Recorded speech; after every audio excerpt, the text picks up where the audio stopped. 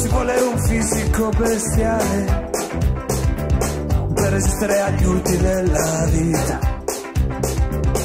Ma quel che leggi sul giornale e certe volte anche alla sfiga.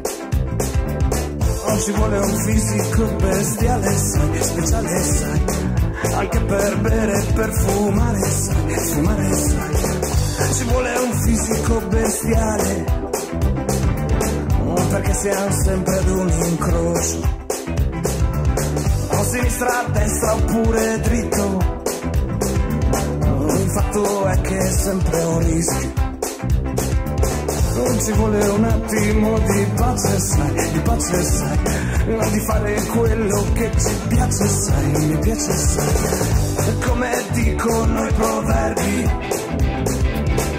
e lo dice anche mio zio.